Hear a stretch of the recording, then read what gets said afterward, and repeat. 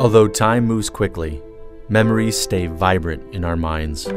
Sights and sounds bring us back to a place where we felt alive. Baseball has been a part of you, your family, the way you enjoy life.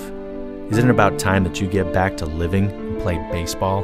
The Puget Sound Senior Baseball League, competitive for all skill levels ages 18 and over. Tryouts are March 5th, 11th, 19th, and the 26th. Why go soft when you can play hardball?